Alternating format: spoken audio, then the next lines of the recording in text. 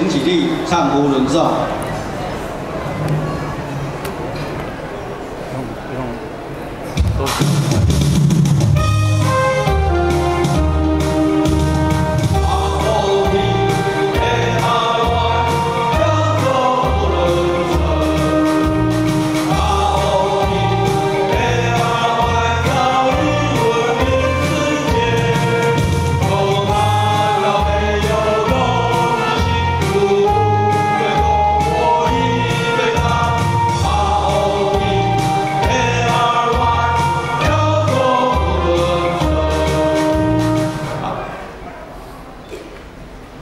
朗诵福伦四大考验。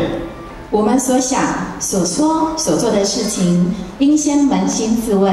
请舍友跟着我们一起来朗读：一、一切是否属于真实？一、一切是否属于真实？二、是否各方得到公平？二、是否各方得到公平？三、能否促进信誉友谊？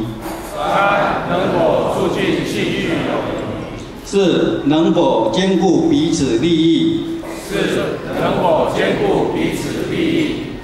莫导，敬到各社已故舍友。虽然是悲伤的离别，也要留着你们最开怀的笑容。生命纵使有长短，生命的价值却是永恒的传承。感谢过去佛伦路上有你们的一路相伴，无数珍贵美好的记忆将会陪伴着我们直到永远。想念着你们，也怀念着你们。愿你们安详地走上来生的旅程。我们会继续怀抱着你们的期待，认真地走出属于佛伦人的未来。永远的怀念你们，因为你们是我们永远的佛伦兄弟。永远的福伦家人，请坐。介绍地区总监，国际福伦三四六一地区总监 Paper 康利，来自大甲北区社，现任广元造纸股份有限公司执行董事，玉龙运输股份有限公司总经理。一九八八年七月六号。入社，社内胡人经历及地区胡人经历都相当的丰富完整。唱欢迎地区总监歌，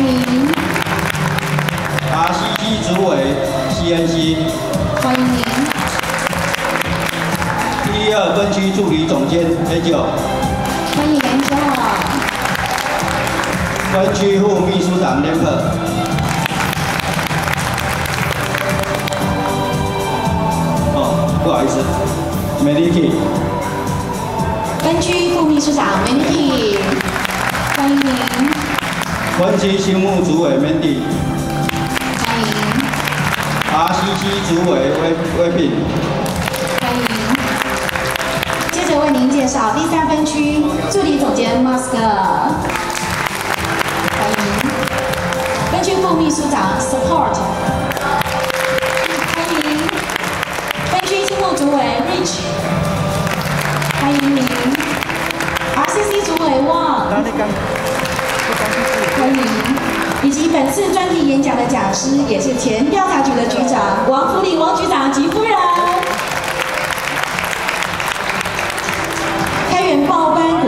公司董事长游信队游董事长，欢迎。唱欢迎歌。刚刚介绍来宾有色舍友，请起立，让我们为您唱欢迎歌，欢迎你们的莅临。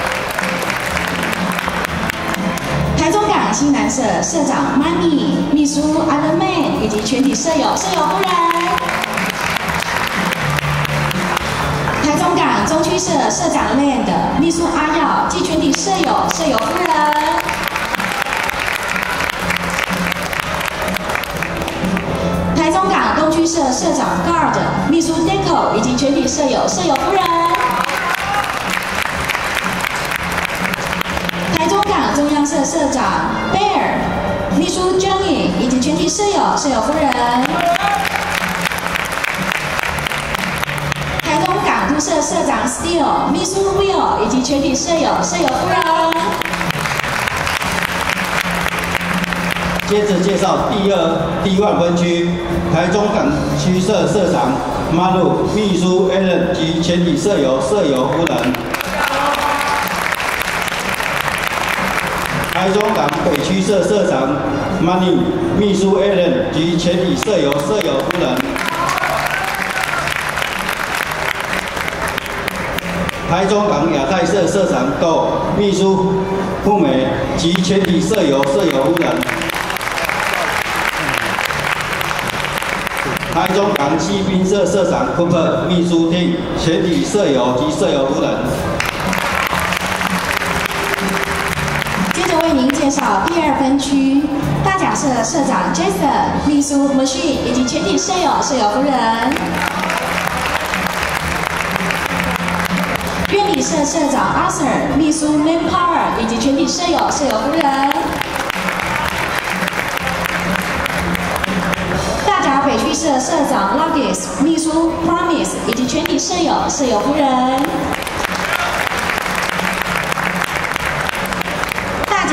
社社长玉乐、秘书阿丽以及全体舍友、舍友夫人；大甲百灵社社长 Lisa、秘书 Aya 以及全体舍友、舍友夫人；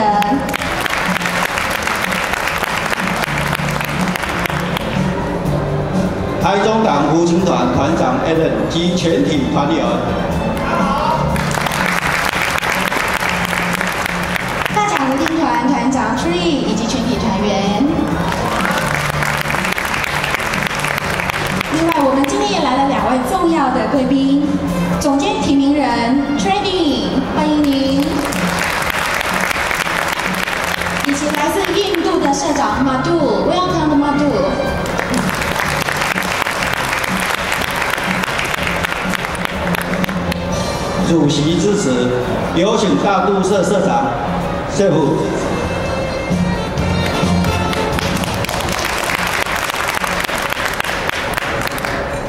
敬爱的 Paper 总监抗力，今晚例会的讲师王局长抗力，秘书长 Chemical，以及地区团队各位 PDG 二零二一年的总监提名人 Trading，还有地区社会行政主委 Sunny，地区 Casting 助理总监，今天主办第三分区助理总监 Mask，第万分区副的助理总监 D Two Angel 助理总监。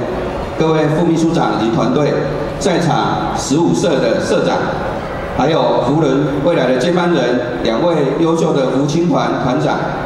今天晚上的贵宾很多，我就不再一一称呼。各位亲爱的福伦前辈，各位舍友，各位美丽的舍友夫人、宝卷，在场贵宾大家晚安，大家好。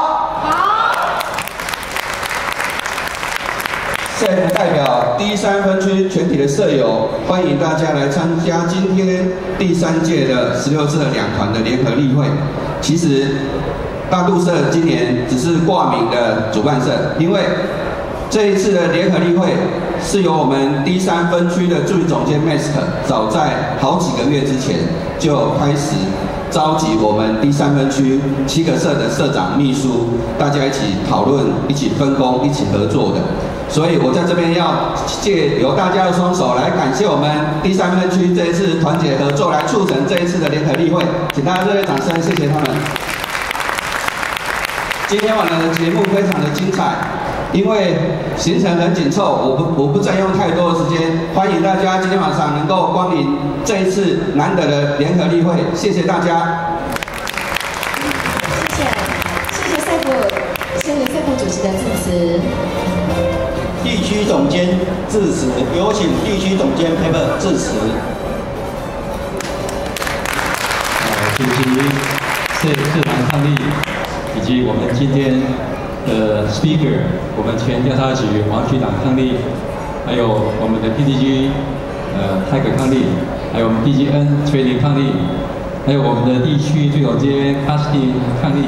以及我们三位分局总监，还有我们的地区秘书长 k i m i k o 抗力，我们所有地区团队，以及我们所有的社长、各位舍友、各位保健，大家晚安，大家好。好。今天是我们啊海线地区啊 D one、D two、D 三三个分区的联合例会。那么我们海线地区，因为历史的因素呢，我们呃十六社，其实是十八个社，两个团呢都有呃非常深厚的情谊。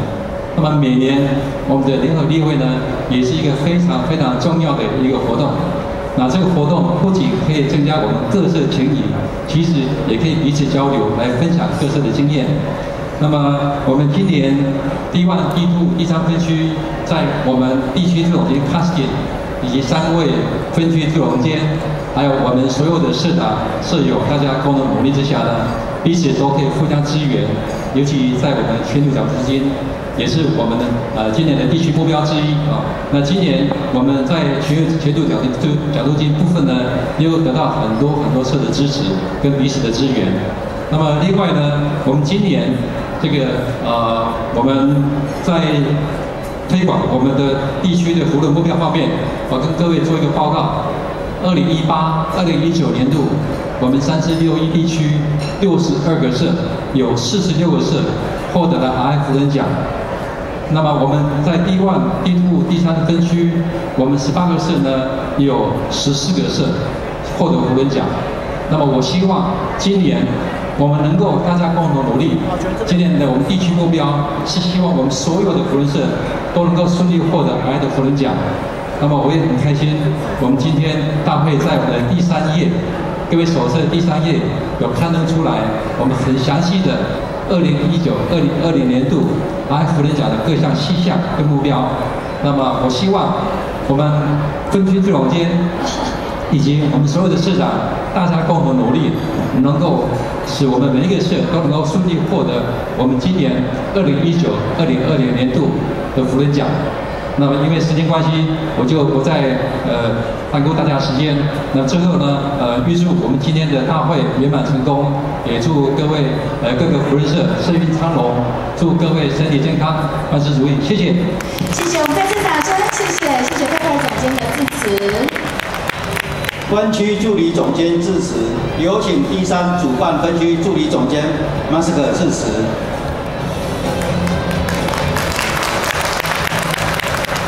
我们主办社社长说服抗力，还有我们地区总监 Peter 抗力，以及我们总监团队，还有我们今天 speak 是我们的王局长抗力，以及我们各位社长、好夫人，还有我们各位保健，还有我们福军团员们，大家晚上。好。今天 Mask 仅代表我们第三分区全体舍友以及保健。以盛情欢迎我们各位来参与我们这一次三四六一地区第三届的一个地区的一个联合例会。那非常非常荣幸能有这个机会来承接指导我们这一次的一个联合例会。那这次的联合例会，我们比较特殊的是打破往例，由我们七个社，就由第三区的七个社来联合主办。所以说，等一下在晚会的时候，我们第三分区的七个社，你们要记得，你们全部都是主人。所以说，今天很高兴我们可以邀请十六社两团来参与这个联合例会。那希望说，我们第三分区的各位社友表保健，表现出我们第三分区的团结。那最后也祝我们今天的大会圆满成功，各色社运昌隆，大家身体健康，万事如意。谢谢。谢谢，我们再次掌声，谢谢，谢谢助理总监 Master 的致辞。有请第一分区助理总监部的上台致辞。谢谢，我们谢谢谢谢谢副的助理总监兼的莅临。有请第二分区助理总监 N 九致辞。谢谢，我们再一次掌声，也谢谢，谢谢 Angel 助理总监，谢谢。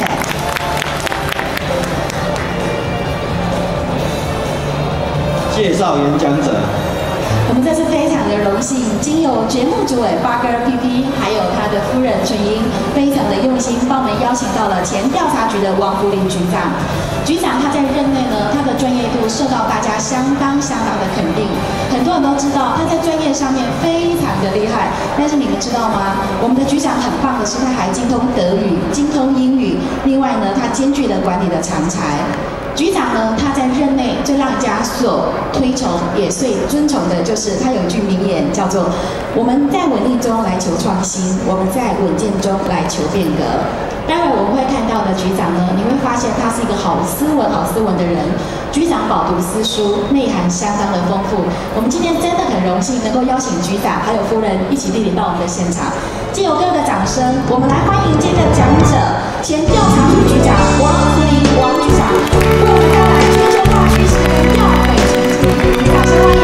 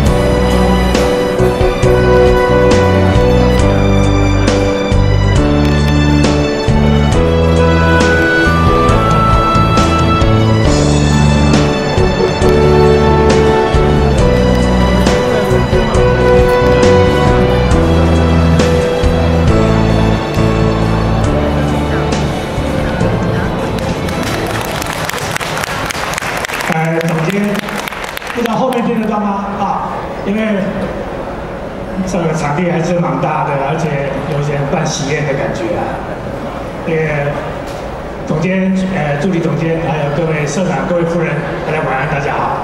好。呃，非常高兴能够有这个机会啊，来这边跟各位做相关的报告。那么，其实我我在台中县服务过，我民国九十年到九十三年，在台中县，那是那时候的台中县啊，台中县当过一任的主任啊，所以说各个台中县的各个地区，我们差不多都是跑遍啊，但是可能跟大家接触的比较少。那么，那么在福仁社演讲，也不是第一次，台中市的福仁社。我几乎讲的都差不多了，我讲到南投了，啊，彰化还没有，台中市，呃，台中县，台中县可能有一两个，然后就到这边来了。那么感谢我们童童瑞文先生跟夫人的邀请，呃，来这边跟各位见面，也做一个报告。这个抱歉的就是今天啊，这个是呃放假的日子啊，我一直在想要跟各位找什么样的题目。但是我想着福仁社的都是社会的精英，那么跟精英报告选的题目啊，也不能太弱啊，太弱的话就觉得好像这个有这个低估各位的感觉，所以我把我这几年，从明，我从这个二零零二零零零年，应该是二一九九九年，我开始研究全球化啊。呃，到现在，所以我把这个全球化目前的这个状况，跟他所推展全球化的一个现象，跟各位做一个报告，来就教于各位的舍友跟夫人们。呃，如果这个中间有不当的地方呢，也请给我都予指导。因为时间的关系，好像原则原来是说七点钟以前要结束啊。哦，尽可能快一点。那中间里面，因为大家水准都有一定的水准，都是社会精英啊。那有些不需要解释的，我就不解释了啊。那如果是我会留下来用餐，如果用餐的过程里面，你哪个地方需要来来这个问我的话呢，我在我在现场随时可以跟各位做个说明。那我们就把时间，因为这个这个我没有带我自己的自自己的这个工具啊，那先用舍舍友提供的工具。如果中间有一些有一些这个错误的地方啊，请。多多包涵，那个是不是现在就开始？那个好了好了，没空调。好，今天跟各位报告的是全球化的趋势跟这个吊诡情境。全球化是一个好的东西，但是它中间目前碰到一些困境啊，dilemma，它这个中间碰到一些困境，那些困境是什么样的状况？哎，我们台湾走到全球的历程里面是怎么样走进来的？我想跟各位做个做个报告。我分为五个的章节来跟各位做个报告。在一九九零年开始，大家知道全球化，全球化是从其实全球化应该在四百年前就开始全球化。我们中国人喜欢把这个很多世界上的事情跟我们中国人连结啊。真正的中国开始走入全球化，应该是郑和下西洋啊，在永乐年间。郑和下西洋的时候，开始有两百多艘的这个船，两万多人的这个士兵跟其他的这个工作人员啊，在郑和的领导之下一直下去。我当初开始在大学的时候，在我们那个年代，常常讲郑和下南洋，郑和下南洋。结果慢慢发现，郑和不是只下了南洋，郑和一直走走到了非洲的肯亚啊，所以说他是下西洋啊。我们所以说把它改过来，郑和下西洋。那么。全球化这一这个名称呢，是在十五世纪到十六世纪，应该说十四世纪开始末期到十六世纪、十七、十八世纪大航海的时期，有几个国家呢？有这个西班牙、葡萄牙，然后荷兰到英国，从海权时代，把因为贸易的关系、征战的关系呢，开始进行了全球化。啊，在这个过过程里面，大家比较清楚的就是哥伦布发现的新大陆了。这个普呃这个麦哲伦呢绕地球一圈的，然后开始有一些贸易的一些一些行为，还有一些行为。那么真正全球化这个名称呢，是在一九七零年开始，一九八零年啊，慢慢一九七零年开始听到全球化的声音，到一九八零年慢慢知道了全球化，到了一九九零年才全球化才比较让大家所能够接受。我们以《纽约时报》来讲的话，一九七零年《纽约时报》看不到全球化的这个 globalization 这个字，看不看不到。到了一九八零年，《纽约时报》差不多一个一天一个礼拜招了两次三次。那么到了一到了二零零零年，一九九零年到二零年，差不多每天的报纸都会有全球都会有全球化状况。那么在一九九零年，那我们台湾台湾的全球化进入是非常的慢。我想我走到下面来，我不想让太多太累了啊。台台湾的这个全球化，台湾的全球化是大家晓得，李登辉总统一九八八年一月十三号，金国先生过世，李登辉总统继任，继任到了两千年的五二零五一九，他结束了总共的任期十二年，超过十二年的时间。那么这么长的这么长的时间里面，当初因为环境的关系，所以我们台湾走什么本土化、在地化。大家那时候听到的都是本土化、在地在地化，是是叫做 localization，而比较忽略的全球化。好，我不是说批评谁对谁错，但是政策的一个主导会影响到整个社会国家的前景啊，这个是没有办法啊。那么我们全球化是走的比较慢，常常人家讲是我们台湾跟西方的这些列强，或者是我们东北亚的日本啊，我们可能会落后他们二十年、十五年或者十年。那中间里面到现在为为止也差不多这样的状况。但是全球化来讲的话，我接触到全球化是一九九九年、一九二零，来到两千年我接接触了全球化，因为我自己的论文是写的全球化里面的化育治理、资源依赖、竞合策略，所以那时候我进入了全球化领域，开始研究什么叫全球化。那么在这个时代里面，除了全球化以外，另外一个很重要，抱歉这个镭射笔不能用，我只能用大家看。另外，在这个因为全球化的的状况里面，把所有的管理的行为，当然很多都是老板，都是企业界的这个精英。我想大家知道，我们的行政的不管是公部门、私部门的伦理，往往受了很多管理学的影响。在这个时候里面，又另外一个管理学的产生，也就是所谓的啊 PPPS。所以我们现在进入全球化里面呢，以后有两个字一定要记住，一个是德国的人选一个是什么？下面一个 public-private partnership，就 PPPS，就是协力伙伴关系。为什么要注意到协力伙伴关系？后面会讲，包括我们现在想的 BOT、OT、ROT 这些呢，全部都在 PPPS 里面产生的。尤其是最后那个字 partnership，partnership 这个字是很重要的。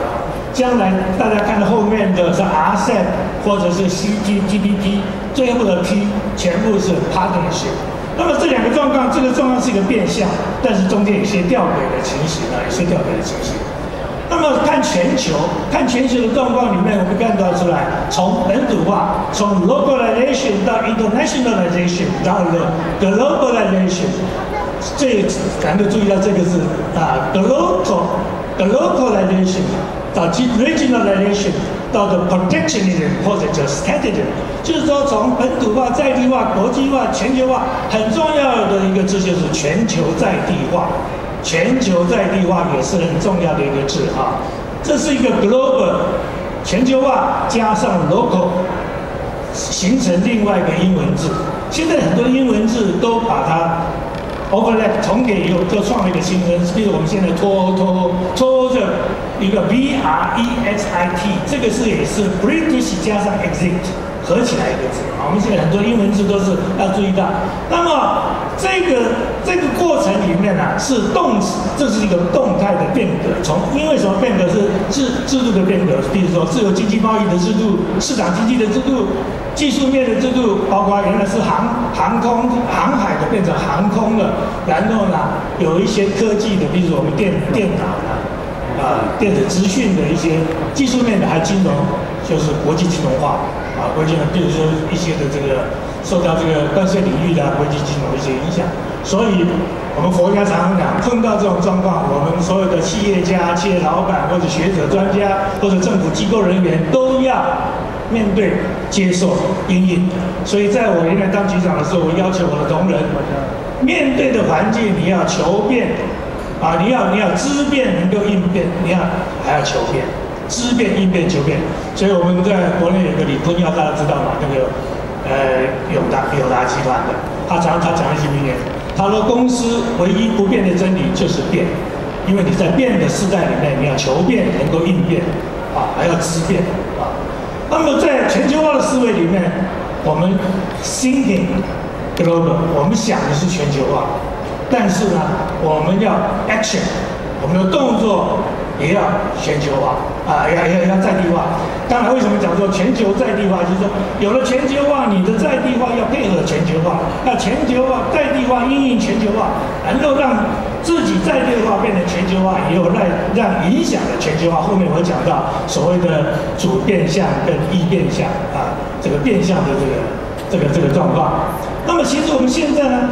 如果大家连全球化都搞不清楚的话，现在已经要进入第二波的全球化，也就是信息化时代啊。这个国际经济学家你们讲到了，已经这个是日内瓦的一个国际经济专家，叫做巴瑞啊。他说他出这本书《The Great Convergence》，大融合的时代里面已经走入了信息化跟新的全球化时代。好，它的变化是怎样的？我在后面会跟各位再做个说明。那么国内，the new reality can we deliver？这是我在一百零二年到欧洲去参加一个国际呃警政首长年会的时候，他们的一个标题，我觉得这个标题很值得我们国内人参考。这个目这意思就是说，我们现在的现况是什么？那么我们政府或者民间要如何扮演 delivery？就是一个递送就传递的一个角色。如果是我们自己要扮演什么样的角色？从我最近看《天下》杂志的统计，二零一五年一直到现在，我们的华人的董事长会、董事长协会，啊，一千个董事长协会里面，大家都面临着什么一个状况呢？面临一个传承、变革、交替的时代，啊，这里面的一千个这个董事长，大家给我最近也在跟几个企业主在谈。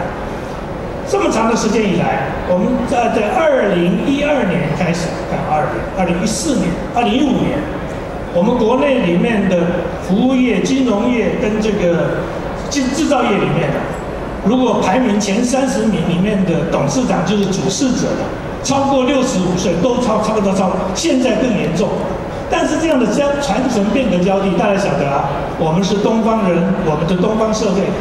据统计，一直到现在为止都是一样，传给他儿子的占百分之七十五，传给他的女儿的百分之二十四，传给专业经理人只有一个 percent，一个 percent。所以我每次去就看到这个老板常常讲说，我现在七十岁了，我还要做八做到八十岁啊。郭台铭说，呃，他这个养了虎女虎子啊，还要再做十年，做多少年？我看下面的专业经理人全部倒一片，因为都没有希望，都没有希望。但这个地方我们如何去做传承？如何去变革？如何去交替？我那个单位两千三百个调查员，我在一百零一年当副局长的时候，我帮他们统计，十年里面退七百个调查员，七百个调查员占全局三分之一哦。这前几的学，这七百个调查员都是前几学长，都是站到位置处长、主任的位置位阶的，所以到现在已经多少年？已经六年。我们的局里面的新陈代谢到现在，所以我在我那个在我那单位里面，我跟他们提到，未来不是 position 的问题，不是位置的问题，是 profession 一个专业的问题。所以在传承变革交替的过程里面，我们能不能够把经营权、治理权、分配权、控制权、决策布局能够做好？然后我们公司里面的或者是政府部门里面的核心职能、专业职能、管理职能，我当初提出两个口号：向上提升的管理职能跟向下扎根的专业职能。啊，我这现在在辅导两家企业也是一样，哎，都是跟他们谈这个。你管理阶层够不够？军中的是少将以上。啊，上校以上都是专业，上校以上都是都是什么？都是管理啊，所以他的战院的入院的都要少，都少将边阶。军中大家服过兵役就知道，军中到了少将的官阶的时候，他的他的这个领章啊，他没有宾科，没有布科、炮科、装甲、通讯没有，全部一朵梅花，因为你是通才，你是管理层，但是在上校以下都有宾科，都有宾科，原因在这个地方啊。那么在这种变的时代里面，我常常讲变是好的变，在善变的时代，如果用好的方法去做。引导管理层做好的引导，然后能够把处理的很好善处，才能够达到公司治理善治的也善治的地步。政府治理、公司治理叫做 good administration，good governance。啊，这个这个这个是整个这个变化里面，台湾现在的也是在这个变化的过程。我不晓得公司里面，我看那边有很多也是白发苍苍，对不对？那你公司里面也在变，那变的过程里面，你们想到这个地方，你要传承什么？你要变什么？你要把位置交给谁啊？才是有把握的。那么这是有。那么全球化的趋势，现在这个趋势怎么样的状况？什么叫全球化？大家可能搞不清楚什么全球化。全球化其实就是现代化，就是现代性啊，就是现代性啊，modernity。前我们现在称现在是第二波的 modernization。大家要看到这个全球化里面，它的现代性包括了三个主要的一个因素。第一个因素。抱歉，因为它这个这个没有办法用这个啊。大家看，现代性是现代，是 modern，它是指时间的概念；现代化是指制度面的、经济的、政治的、法律的，所以社会层面。现代主义呢？现代主义就是什么？是属于精神层面的，是讲哲学的。我们常常生活在哲学里面，大家都不要搞不清楚啊。在我六十年代的时候，我常常我们我们台湾人常常讲的三句话：干一点不讲，爱表讲呀，只要我喜欢，有什么不可以？这三句是哲学领域哦，一直影响到现在。我们现在这个年代，大家坐在这边看到外面的年轻人，他们的想法就是在那个时候影响，所以现在大家才开始佛家讲要要什么？要惜舍，有舍有得，要什么？要要共存共荣啊，就是为了打前面这个哲学领域的。那么我们现在的现代化已经到了后现代化时期了。如果各位的全球化、现代化不清楚，那已经落伍了。落伍了，你在这个时候，你再不晓得后现代化，就是资讯化 （information） 跨域 （close boundary），close 越过这个领域的 （close boundary）。网络化是 network，一直到 global globalization，进入了全球在地化的现象。大家要注意到。全球化，大家都说它是一个创造单一世界，no，它不是一个极化的。不是一个 extremely，它不是一个极化的东西，它一直在变动。这个变动过程，它今天是这样，明天是这样，它没有单一的情形，它不是单一的。越全球化越不单一，后面当然这就是它吊诡的地方。当然说全球化是不是全部一致性的哦没有一致性的。特别大家可以看到，主权到现在每个人每个国家都抓在手里面，主权到现在没有权。全球化到底说应该变成一个全球唯一的单一的国家，不是的，反而越来越复杂，越来越复杂。那么我们常常讲工业一、工业二，这个是大家看一看哈，因为我想很多人讲讲工业一、工业二、工业三、工业零点四什么四点一、一点一，知道？这个时代是从机械化生产的时代，从十八世纪末呃中期一直到十九世纪的，哎十八世纪末期到十九世纪中期，然后到了电子自动化时代，然后到了电子资讯，现在是讲的网络，大家每天都知道 computer computer。其实现在有一个英文字一定要注意，叫做 cyber。cyber 在 cyber 是网络了，computer 只是电脑。cyber 我们现在公司，我自己里面的老公司，我们处理都是 cyber criminal，就是网络犯罪。即最近的流行的卡卡神的呢，他的犯罪也是网络犯罪，那是一个 cyber 的东西。我们常常什么叫 E 世代？我们现在常常叫年轻人，你们是 E 世代，E 世代是讲什么呢？它是电子的时代。这个时代的人全部用电脑，用电电动的东西啊！你如果跟不上时代，我们讲完了 K K 的话，跟不上时代，你就不是电子，不是一时代的人。这个时代的人他非常感性，非常的什么？他不是很理性。我们年轻现在年轻人不是这么个年轻人，抱歉了，我是就讲全部年轻人，他不是很理性，他比较感性，他比较 emotion。另外，他比较自我 ego。啊，ego 本来是好事情，本来是自主，但 ego 就是他非常自我。年轻的朋友很自我，他比较自私，因为责任感缺乏，另外他很急迫性，为什么不留给不不给我？为什么我的房子不如人家，我的车子不如人家，我吃的没有比别人好？很多你上一代的亏欠了我，他们是比较急迫，这就是意识感。意识代的表现就是有这个四个一来来显示显示他们的状况啊，有没有那什么叫全球化？全球化，我自己归纳，这些都是我自己研究归纳的一个东西哈。我认为全球化，咱它从物质形态来看，它就是一个流动，全球都在流动，人流、物流、金流、资讯流，对不对？都在流动。我跟我那个单位讲，在流动的过程里面，我们大家看，我说是善变，善变是金流、物流、资讯流、人流都是很好的，但是坏处就是多了一个乱流啊。所以我在我那个单位讲，人流、物流、资讯流、金流的状况下，如果星球乱流，就是我们要处理。那第二个，它是一个没有，第二个是差异多元，全球化是差异性很大。啊！但是我们现在常常在讲求同存异、尊同啊，这个这个异中求同、求同求同的这个求这个同中，我们要尊尊异的原因就在这个地方。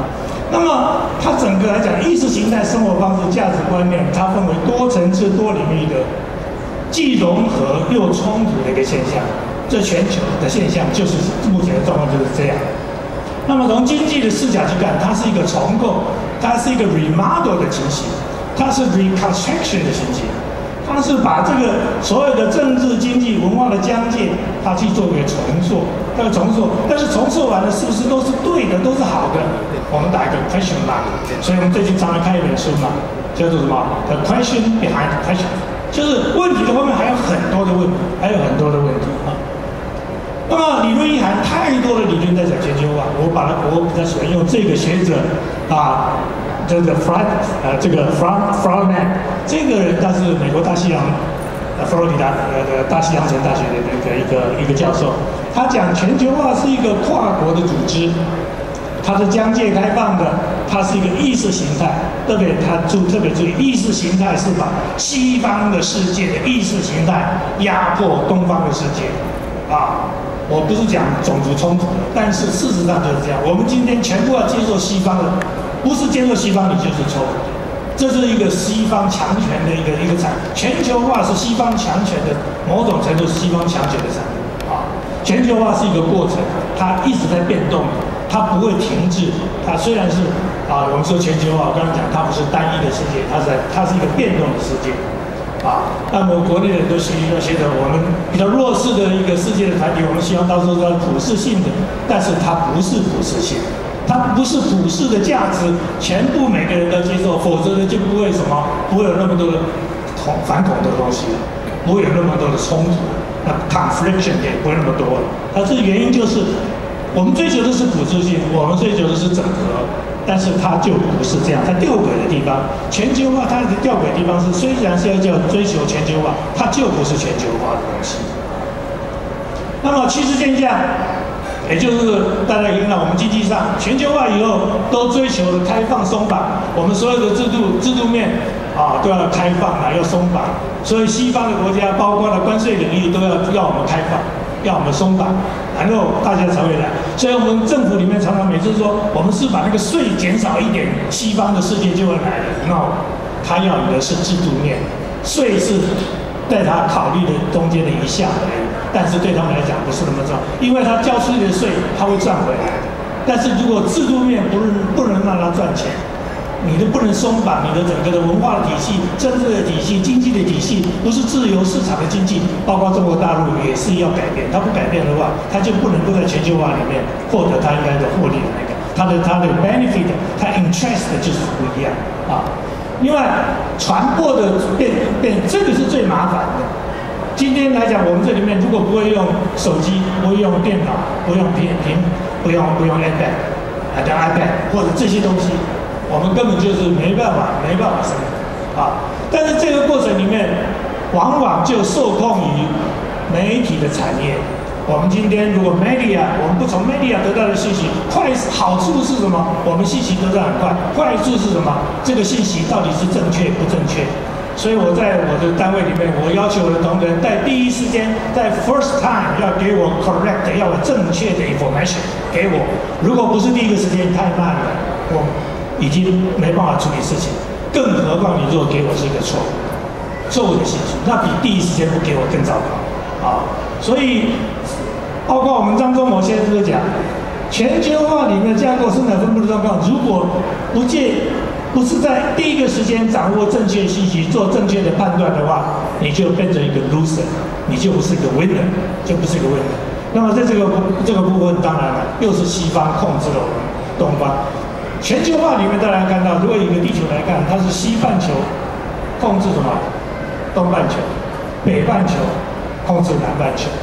你你去看全球化是不是这样讲？因为最富有的、最发达的科技最发展都在西半球跟北半球，南半球跟东半球都是比较多。那么这段期间所有那么多活动，反客反对西方的世界都是东半球跟南半球。人口都要产生，大家最近看人口的移动造成了太多问题。从我们如果用看报纸的话，大家知道这个看这张地图上面，你看移动的都是叙利亚、阿富汗、这个什么奈及利亚、伊拉克，还有这个苏丹这些这些都到欧洲去。这些地方是从特别是在阿拉伯阿拉伯的世界里面，所以说这个呃颜色革命啊，阿拉伯之春。哎，茉莉花革命、阿拉伯之春、颜色革命那时候，那时候人类在移动的过程会有几个？人类是求生存、求发展，所以就要求富裕啦、求安全啦、求生存啦、求求更更好的安逸的生活的就一种。那移人口移动有两种，一种是移民，一种是难民。啊，有一次我在一个福伦社演讲，说，哎，福伦社有个舍友跟我讲。这个很多难民进来、移民进来很好啊，我们的 GDP 增加，采购力都增加。但是我就我就跟他讲，你有没有看他看到移民进来的那个数字是什么？移民还好，经济移民数字 OK，但是经济移民带来大量的 capital、大量的资产进来的话，会把生活搞乱。啊，美国就是这样啊。当第一波台湾人去的时候，加州的房地产涨了一批，这次大陆去以后又涨一批，对不对？经济。那你如果是难民，那造成的社会的问题是更大。所以今天你看到欧洲的整个的发展来讲，从啊德国的梅克尔啊英国的这个梅尔，一直到很多国家，包括英国脱欧，其实都是难民呃难民形成。移民有两种，emigrant 是移民，refugee 是难民啊。这个是这个在人口的移动，上帝啊，在创造人类的时候，创造地球的时候，给我们开了几个玩笑。第一个是人口的问题，第二个是粮食分布的问题，第三个是水资源分布的问题，而造成了这个呃整个地球面里面而产生了很多的一个一个现象。再来，当然环境污染，从不管是巴黎巴黎合约、巴黎巴黎这个协定也好，东京议定书也好，或者所有的这个呃。里约热恋图的都一样，所有的协定一直到现在到现在还没搞定。我们台湾到现在也没搞定。我们的燃煤，我们要每年要付多少燃煤费？啊，我们说上次投票的以核养绿，到现在也没有这样做。当然，政治里面今天不在这个地方谈，因为这里面啊政治立场不同的，我也不能在这边谈。但是你既当这个知识的分子，你就要在 thinking thinking 啊，你要去想啊，然后来决定你的行为，你的 behavior，这很重要。那么污染的问题，一直到联合国的这个相关的一些机构都在处理这个问题。这一次什么？这全球化产生的问题，带来恐怖活动，大家就知道 ICE 的问题啊，Islamic State 啊，这个就是这个恐怖活动一直到现在没有，从来没停止，没有停止过啊，没停止过。这个问题我必须想，这我今天在这个地方要多花一点时间啊。这个震惊情势的组织，大家看，从 TPP 一直到 RCEP，是我们台湾常常在在找。现在 TPP 改成 CPTPP，因为二零一七年美国他川普上台以后，他说的不要这个，因为，他他关税领域他自己搞一，要搞一套。但是这里面呢，都是讲的 FTA，大家晓得什么叫 FTA 吗？我大学的时候研究所，我常常问研究生，他们也不晓得什么，知道是 FTA，自由贸易，就是 Free Trade Agreement，Free 自由的 trade 做生意的啊 agreement，所以你们全部都是只是双边或多边。我一次到英国去的时候，英国人问我们脱欧以后，我说你脱欧的话，你双边没有，但是你不在欧盟，但是你的什么？你的多边的、你的双边的跟其他国家的 FTA 你不能丢掉，没有对对？那么你看我这个图里面可以看得出来，RCEP 的成员除了总共有十六个国家，啊，是去今年的十一月份好像才还到现在为止还没签署。印度印度脱离的，印度脱离的原因太多了，因为他他怕这个中共在在里面做主导，那当然自己的条件也不够。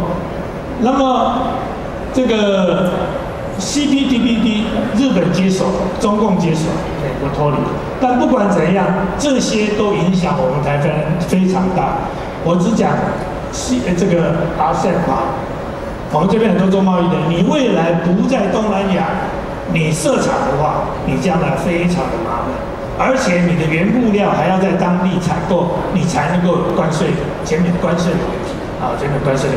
因为我们我们当初的 e c f a 大家晓得啊，前一段时间经济部长讲 e c f a 没有关系，那个才第五个 percent，但是第五个 percent 大部分都是我们中部的厂商啊，机械厂商、手工具厂商，这个都是受到影响。五个 percent 是很大的，我不知道经济部长在想什么，我是搞不懂啊。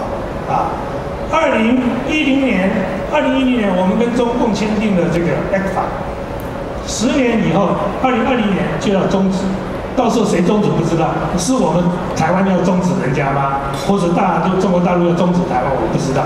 但是旁边有个韩国一直盯着我们，希望我们终止，因为它违反 WTO 的相关的规定。啊，因为这个是一个过渡性的组织，违反全世界的这个 World Trade，违反的这个 Organization 的这个相关的规定，它规定它之间它规定你十年一定要，所以当初政府要做服贸要做货贸是有它的道理的。早收清单，如果那时候服贸货贸搞定的话，现在我们就不怕二零二零年，那这个是另外的话题啊。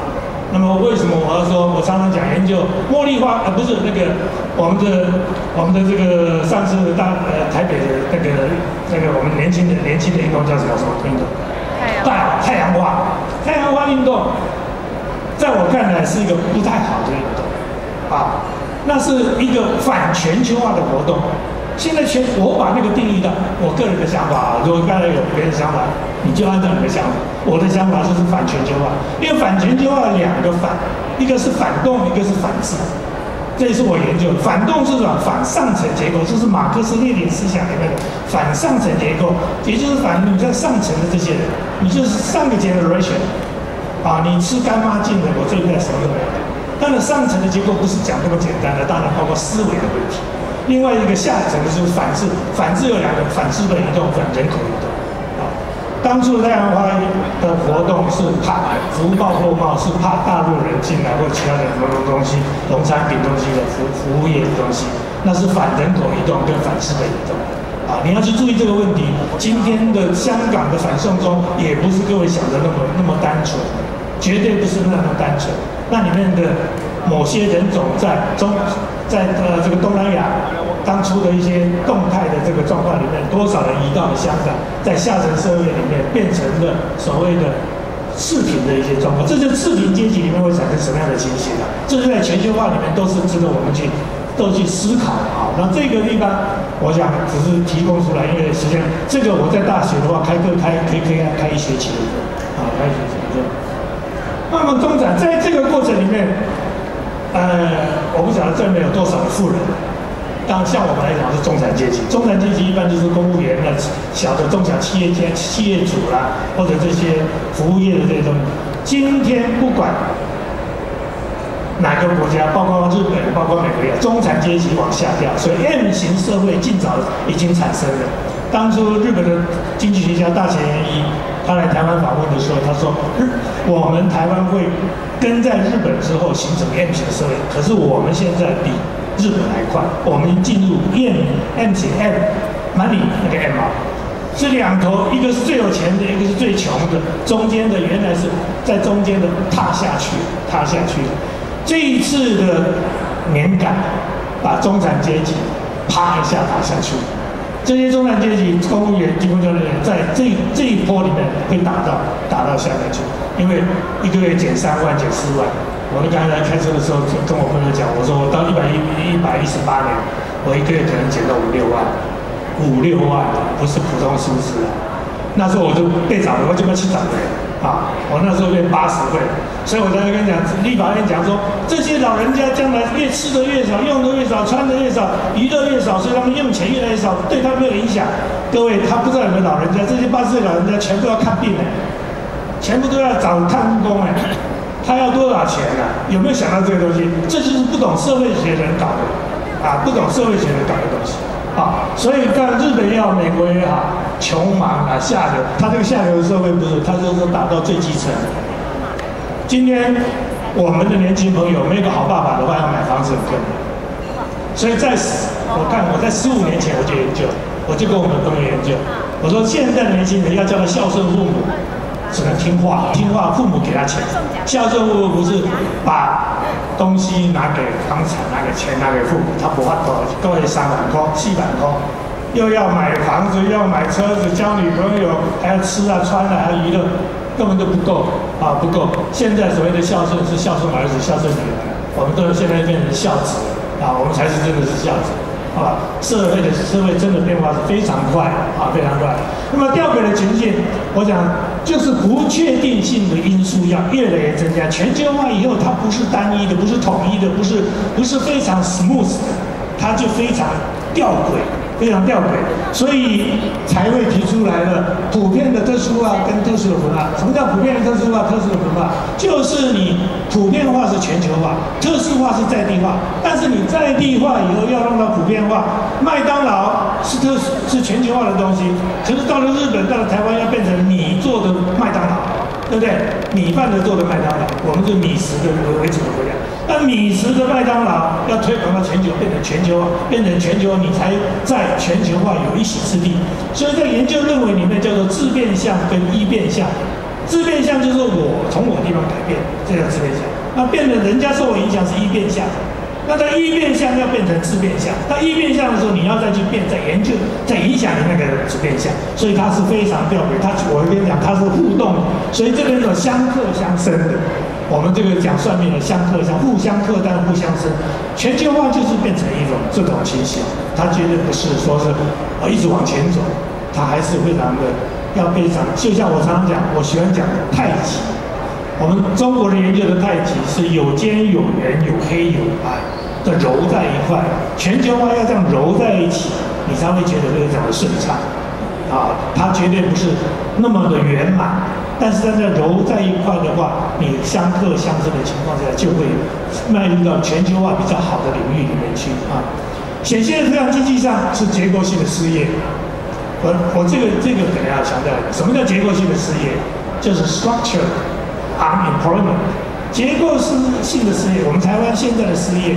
摩擦性的失业都没有什么影响，啊，摩擦叫是失业性的失业叫做 friction 啊，这个没有什么影响，这种，比如说，好，五六月份大学毕业了，啊，或者这个退休人员的他退休完了，他一段时间他还会找到工作，啊，他很快的时间，他是时间影响的找到工作，但是结构性的失业是市场经济的改变、制度面的改变、我们生产工具的改变，他要熟悉，就是你的老人家你要去就业，你不懂电脑，你就没办法就业。啊，这叫做结构性的。将来台湾的结构性的越来越多，科技上的健康的环境破坏会造成我们生活圈的问题。今天我看到报纸上又登了一个，说这个血糖要吃的这个，那叫做那个血糖药又又有又有问题。这都是科技类造成的一个一个科科技方面形成一些一些这种，叫做 meta things 啊，我们学学医的啊，meta meta 方面有问题。网络上霸权帝国支配了我们所有的生活，啊，所有的生活，我们全部要。现在中美贸易战、霸权之争，就是在搞第二次全球化里面的信息化的战争，就是信息化的战争。文化上面，西方的价值要变成全球的图腾，要变成全球，大家都听西方的啊，吃的呀，听啊，看的电影。也是好莱坞的啊，好不容易我们东方有一个印度的嘛，好莱也是一个好莱坞，印度印度的电影我看啊。的宝莱坞，对，那也是所谓的普遍化的特殊化、特殊化的普遍化的形式啊。刚才讲政治上，国家的基本的执行单位更显然，全球化本来说疆界打打破了，到底说国家应该不是那么重要，但是司法权、经济权、市场经济。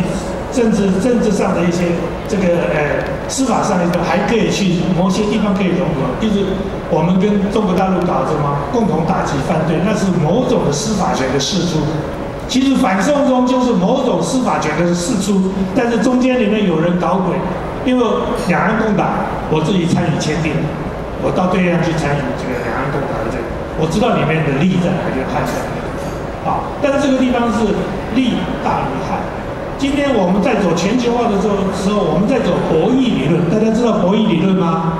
博弈论就是 gambling 的 s p a r k 啊，就是赛局理论。也就是说，在这个黑羊白羊走独木桥啊，你走前面几步，他退几步，你他你要让让他，然后就不会摔下去。这叫做博弈的博弈理论。那么在这个状况里面，大家看主权一点都不能丢。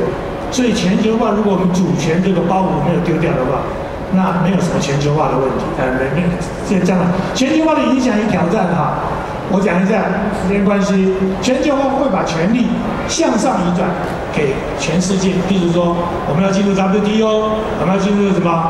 呃，WHO，我们要把权力释出，这叫叫上上向上的权力移转，向下移转。台湾最明显，台湾的地方自治法确立以后。台湾的地方县市政府的地方官员大于中央，你们你们有没有注意到这个问题？地方的师长是十二职等，我们呃中央的师长十二职等，我们地方的县市长的副市长的议会的议长、主任秘书都在什么？秘书长都在十三职等，所以中央如何如何来要求地方？那是为了选票形成的地方自治法。我们台湾每一次选举，我们的权力释出的情况是惨不忍睹，经济的释放、权力的释放是惨不忍睹，那些都要我们全民来负担。这些候选人开的支票，我们全民要负担，啊，全民要负担。这就是向下移转、向外移转，我们的权力在向外移、向向向外移转。譬如，福伦社也是一个权力的机构，台中市的磐石会也是权力机构啊。因为政府在推动任何的政策的时候，一定要征询相关的组织的意见，叫做 N NGO，non 啊 governance of 呃呃这个组织 organization，非政府的组织。这个政府非政府的组织，全球化权力越来越大，权力越大，能够集合五百人在这边开一个会，政府现在都没有那么大的能力。你看，福伦社啊，一声令下，每个人都到，不不到要罚钱，是听说，对？所以说都要到，对？所以说这个他的非营利组织会权力越来越大，他的向外向外移转。OK，我想因为时间关系，我就把这个图。做个治理的城市，以前的大政府，以前我每次写文章，我们对老一辈的写，我们说大有为的政府。那时候我们结论的时候，一定说拥护大有为的政府。然后慢慢会改变，到了雷根时期，到了英国柴契尔政柴契尔夫人的时候，那时候叫做小政府，小而美，小而能，小而精的政府。到了克林顿政府的时候，是 NPS 的时候，是要求所谓的 result，所以他创立了一个叫做我们政府现在也讲叫做什么结果法案，是？它是它是一个结果法案，它是追求追求追求结果的。像我们现在来讲的话，叫做 KPI 也是一样，追求啊 Key Performance 啊 Index，就是在这个时候慢慢的走了走。那么现在跟各位讲的全球化的时候讲的 PPPS，PPPS。我们的台中市的 PBOT 的案子，秀泰就是 BOT 的案子，是润泰公司的南山人寿搞的 BOT，就是 PPPS，什么叫 P P P S？在我后面跟各位跟我说各位说明，好吧？好，这个我看这个图图画我就不再讲了，因为受到全球化的影响，空地域疆界的改变，跨国组织的影响，四部门的影响，使政府的里面承受的压力越来越大，所以他要改变，才有这种所谓的大政府改成小政府。好，他的图表看一下就好了，时间实在是不够啊。OK。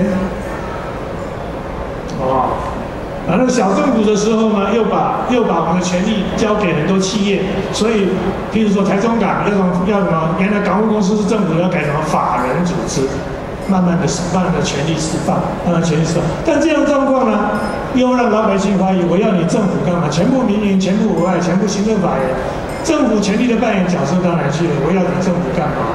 所以才会慢慢的。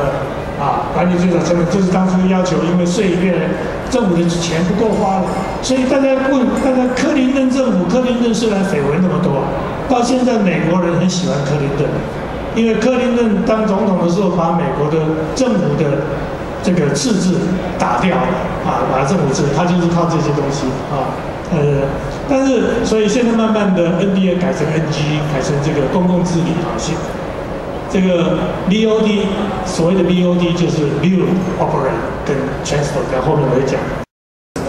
那么我们四维层次要全球化的层次，要国际接轨的层次，要全球在地化的层次，要跨域治理的层次，要民之所欲，常在我心。哈，民之所，这就是我们现在我们在推动任何的公共政策也好，或者在推动我们公司治理也好，都应该不要不要就忘掉这个这四维层次。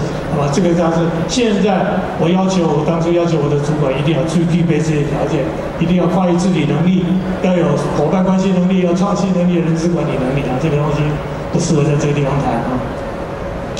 接下来后面是我这么多年来我研究的一些管理的策略，我只秀让你们看，我想不讲，因为时间上的关系啊。全球化的领域里面，领导的趋势是人本自主，是多元差异的，是数位网络，是全球化域。啊，这些这是我们当一个 leader 一定要这个观念啊。另外，你在组织的发展里面要跨域化，要网络化，要知识化，要愿景化，要创新化。我这个每一个，我都我可以上个好几个小时的课程，那今天都没有办法啊。然后在整合的里面的，我这个图表我讲多一点啊。这个东西我常常讲。这个是现在已经知道，IC 实力的组织体，I 是 intelligence，intelligence 是情报跟情资跟资讯，它必须经过 command 下达指令的 controllers 就是当主管的，综合起来经过 communication 形成一个组织，所追求的效益是组织纪年，你 input 的东西的 output 要什么东西，一定是 efficiency。Efficacy 跟 effectiveness，它要追求效益、效率、性、效率的。当然，中间里面还有一个，还有一个 model，还有一个公式叫做 E 等于 function，F L F D，L 就是 leader，啊，这个 F 就是 follow，就是部下、领袖、部下跟 trust 跟亲戚，呃，那个是一个管理管理学的东西，管理学的东西。所以现在的组织体，我一直认为它是一个 IC 主义的组织体。另外，协力伙伴，这就是 BOT。我们台湾 BOT 为什么失败？失败的原因，我以台北大巨蛋为止。你高高在上，政府的官员高高在上，降价提供，远雄我也不是很喜欢啊。但是你不能这样，你必须要相互尊重、相对自主、决策透明、苛责明确、认同允诺的状况之下去得头去重视 BOT。各位，BOT 是把第一个 build。因为你政府没办法做，没有钱做，没有能力做，没有没有人才做，你才发包给民间，民间去找资金、找找方法、找土地，然后他去开始盖，盖完了以后，你去操作，你去 operation，你去执行，你去运作，然后几年以后，像我们这个好像台台中那个秀才，好像就是明二零五二零二零二五年、二零五六年，好像一给一给台台中市政府啊，台中市政府。所以这边它是一个理性的治理工具，要共同参与、共同协议，这是 BOD，BOD 的也要开一个课啊，BOD 要开课。那今天再来看看就好，什么是 BOD？好，我们的高铁是失败的 BOD，全世界最成功的 BOD 就是印度海峡的那个那个海那个那个那个什么通道啊，印度海峡通道是成功的。这种必须要在这个地方，我这边提，政府不要怕老百姓赚钱。BOD 案就是政府不要怕老百姓赚钱，老百姓赚钱只要税制合理，会回归到政府。那这个 BOD 的精神是在这个地方。所以就视为 one size for all，那是以前的想法，现在要改变，要追求 getting result，我们要看结果。所以那个谁，郭台铭常常讲，钱 money money money 放在口袋里面才是我的 money，不在我口袋里面都不是都不是我的 money 的原因就是他说 time to money 啊 time to money 的。然后他的观念架构理，我特别提到理性的基础。今天台湾所有的东西不成功都是不理性、非理性，啊，大家去看这个问题。不管你是发生问题产生议题，你这么一直在这，都是都是不理性。台湾是一个非常不理性的社会，啊，我们把民主政治给我们两个两个最好的工具，一个是 compromise，一个是 negotiation。你要能够跟人家谈，能够要包容，能够容忍，但是我们台湾都不要，我们说要抗争我们就是抗争，全部都是抗争，哪个党都一样，不要说哪个啊哪个党好。我们就是常常讲，最近他说比坏比烂还是比好啊。行动轴线，这个是我自己讲的。我们学者会讲创造能力、整合能力。觉得我去演讲说，去盖地南岛、南港公园去，南港公司啊，我去公司到时去公司我听，包括我的简单，所以想要做，会使做，敢做，肯做，做。啊，这个是学者讲的是理念。啊，一般人你怎么听？我要想做，我就能够做，能够做我要敢做，敢做要做，把它要肯做，做完就把它做做好，做对，啊，做对，这是行动的检验指标。就是我去开会的时候，当初我到欧洲去开会，他们说不能提 ROC，我在飞机上想不能提 ROC，我提我抬我提了一个啊 ROC 的管理模型，第一个就是 reflection responsibility responsibility 代表 R。然后 object order 跟 operation，第三个 operation，那这个就是 ROC 的行动管理轴线的理论啊。我把 ROC 在那个演讲的时候把它带到，啊，把它带到。南海策略，OK，大家都知道，我们每次会学什么叫南海策略，都是避开红海。南海策略有几个原则，第一个创造市场需求。第二个创造高效者，第二开车车。我我也是去那个南港讲，他说哎，这么讲，我讲蒙拉跟 cycle 都是两导两海策略啊。我还另外一个蒙拉，但是 cos 这个是附加追求附加价值，就是两海策略。啊，对。全球治理刚才我讲过了啊，我就不再多提了。OK，结语这个，我想太理论东西我不讲，因为我只讲最近有一个摩克斯教学。M O O C，现在大学里面两个教学，一个是 free，就是翻转教学，另外一个就是模课教学。M O O C 就是，其实我们现在那么多简体，大家去读那个英文，你读了英文就懂了。我们那个电脑东西啊，你说每次看看不懂，你把那电脑上那个英文每个把它找出来，你用 abbreviation 把它去掉的话，你就慢慢就懂。它是 massive，啊，这个就是 out output on online courses。哦，哦，open，open，OK，我知道时间到了，很抱歉啊，OK，好，这就是 partners。我刚才讲的竞争力，前面不讲的竞争力就是必须要知识、经验跟我们的才能提升我们的决断力，OK，好，今天讲了半天，正确的想，深刻的学，实在做，大家看一看这个参考，这是李哲学的东西，好，报告完毕，谢谢，谢谢大家，谢谢我们，谢谢谢谢调查局王和王局长这么精彩又精辟的一个解说，非常的感谢您。我们也有请我们今天的局长，可能要请您上台，因为我们呢有准备了一些车马费礼品跟小设计要来赠送给您。买点全球冰冻干小百姓的。我想我们今天好幸运了，局长真的是充分的做了很大的准备，从全球化的定义到全球化的趋势，以及我们这个关键转折的时代里面，我们应该为怎么样为我们的企业来做这样的一个准备，真的是很用心。郑重演讲者车马会礼品小盛旗，有请 D one 分区、D two 分区、D 三。分区的社长，我们一起来赠送我们今天的讲者车马费礼品跟小社群。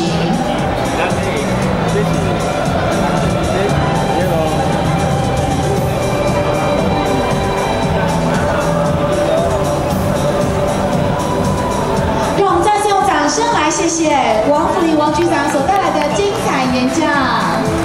谢谢谢谢局长为我们所做的这么多用心的准备。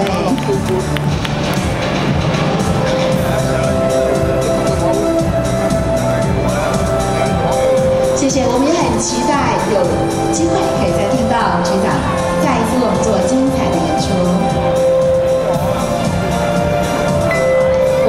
谢谢第 one、第 two、第三个分区的社长自证的演讲者陈宝贝、礼品跟小社旗，也谢谢你们今天所提供的这些信念，谢谢你们。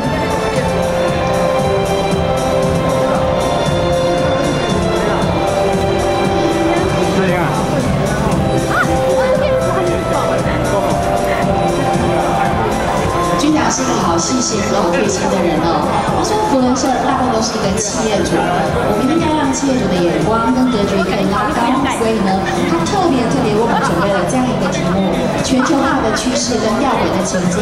希望借由他的演说，让我们对全球化的趋势，以及我们企业主在这么一个多变的企业跟这么一个多变的局势里头，应该怎么样来呃从事我们的所谓的经济的或者是企业的工作。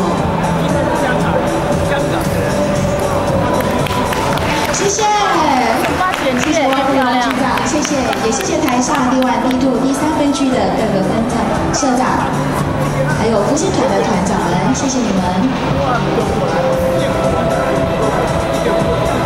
谢。谢。另外，我们今天的主持会主席 Sam 社长也特别准备了礼物来赠送给我们的今天的主讲者，谢谢。谢谢谢谢，再次掌声，谢谢谢谢局长，谢谢。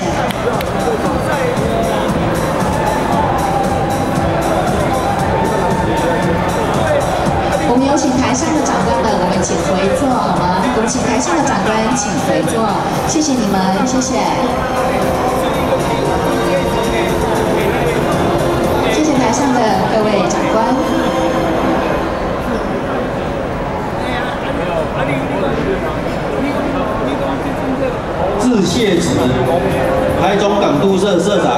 长史蒂奥致谢词。有请港都社社长 Steel 为我们做致谢词。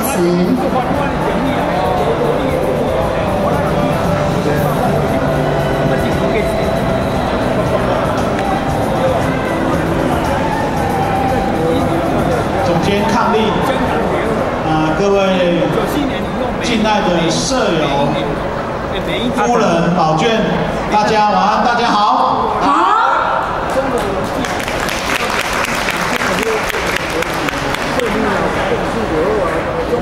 今天是我们三四六一地区第一区十六社两团联合例会，也是我们海线一年一度的盛事。非常高兴大家能借由此盛事，来一起联谊友谊，共叙福伦。那第三分区怀着感恩的心，谢谢大家，让我们第三分区各社借由此盛会来连结大家，一起在这里共襄盛举，做这次的联合例会。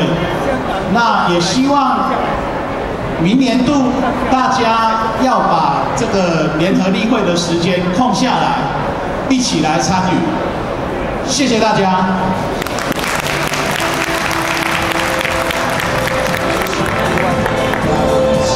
请主席联合例。我祝福我们三十六个地区第一万低处地区组十六次联团第三届联合例会圆满结束，谢谢各位。谢谢大家。